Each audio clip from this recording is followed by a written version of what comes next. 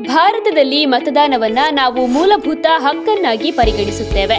ಭಾರತೀಯ ಪ್ರತಿ ಪ್ರಜೆಗೆ ತನ್ನ ಹಕ್ಕನ್ನ ಚಲಾಯಿಸುವ ಸಂಪೂರ್ಣವಾದ ಅವಕಾಶವಿದೆ. ಪ್ರಜೆಗಳಿಗಾಗಿ ಪ್ರಜೆಗಳಿಗೋಸ್ಕರ ಪ್ರಜೆಗಳಿಂದ ನಾವು ಓರ್ವ ಸಮರ್ಥ ನಾಯಕನನ್ನ ಆರಿಸುತ್ತೇವೆ. ಈ ಬಾರಿಯ ಚುನಾವಣೆ ಕೂಡ ಅತ್ಯಂತ ಶೀಘ್ರದಲ್ಲಿದೆ. ಈ ಚುನಾವಣೆಯಲ್ಲಿ ನೋಟಾ ಅನ್ನುವಂತಹ ಮತ್ತೊಂದು ಹಕ್ಕು ಕೂಡ ಮತದಾರರಿಗೆ ಇದೆ ಅನ್ನೋದು ಬಹಳಷ್ಟು ಜನರಿಗೆ ಗೊತ್ತೇ ಇರುವುದಿಲ್ಲ ಹಾಗಾದ್ರೆ ನೋಟಾ ಅಂದ್ರೆ ಏನು? ನಮಗೆ ಸೂಚಿಸಿಕೊಂಡಿರುವ ಅಭ್ಯರ್ಥಿಗಳು ಚುನಾವಣೆಯಲ್ಲಿ ಸ್ಪರ್ಧಿಸಲು ಯೋಗ್ಯರಿಲ್ಲ ಅನ್ನೋ ಭಾವನೆ ಬಂದ್ರೆ ಅವರನ್ನ ತಿರಸ್ಕರಿಸುವ ಹಕ್ಕು ಕೂಡ ಮತದಾನದಲ್ಲಿದೆ. ಅದನ್ನೇ ನಾವು ನೋಟ ಅಂತ ಹೇಳ್ತೇವೆ. ಇದಕ್ಕೆ ಇಂಗ್ಲಿಷ್ನಲ್ಲಿ ನನ್ ಆಫ್ ದಿ ಎಬೋವ್ ಎಂದು ಕೂಡ ಹೇಳಲಾಗುತ್ತದೆ.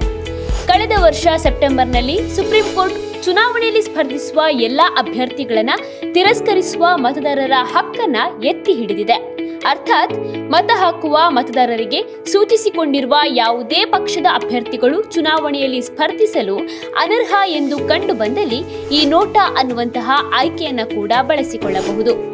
ಇದು ಚುನಾವಣೆಯಲ್ಲಿ ಅಭ್ಯರ್ಥಿಗಳನ್ನು ತಿರಸ್ಕರಿಸುವ ಒಂದು ಪ್ರಕ್ರಿಯೆಯಾಗಿದೆ.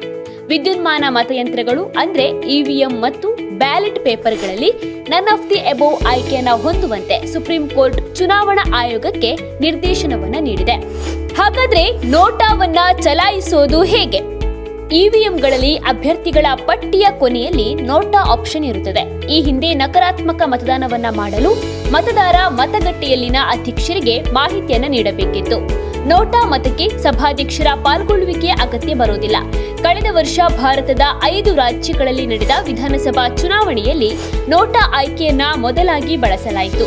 ರಾಜ್ಯಗಳ ಚುನಾವಣೆಯಲ್ಲಿ ಹದಿನೈದು ಲಕ್ಷಕ್ಕೂ ಹೆಚ್ಚು ಜನರು ಆಯ್ಕೆಯನ್ನ ಚಲಾಯಿಸಿದ್ದಾರೆ. ಆದರೂ ಈ ಅಂಕಿಅಂಶವು ಒಟ್ಟು ಮತದಾರರಲ್ಲಿ ಒಂದು ಪಾಯಿಂಟ್ ಐದು ಶೇಕಡಕ್ಕಿಂತ ಕಡಿಮೆಯಾಗಿದೆ. ದೆಹಲಿಯಲ್ಲಿ ಸುಮಾರು ಐವತ್ತು ಸಾವಿರ ಮತದಾರರು ನೋಟಾ ಆಯ್ಕೆಯನ್ನ ಮಾಡಿಕೊಂಡಿದ್ದಾರೆ. ಇನ್ನು ಈ ನೋಟ ಮತದಾನದಲ್ಲಿ ಯಾವ ರೀತಿಯ ವ್ಯತ್ಯಾಸವನ್ನ ಮಾಡುತ್ತದೆ ಅಂದ್ರೆ ಒಂದು ವೇಳೆ ಗರಿಷ್ಠ ಸಂಖ್ಯೆಯ ಮತಗಳು ನೋಟಕ್ಕೆ ಚಲಾವಣೆಯಾಗಿದ್ರೂ ಉಳಿದ ಮತಗಳಲ್ಲಿ ಹೆಚ್ಚಿನದನ್ನು ಪಡೆಯುವ ಅಭ್ಯರ್ಥಿಯನ್ನ ವಿಜೇತ ಎಂದು ಘೋಷಿಸಲಾಗುತ್ತದೆ.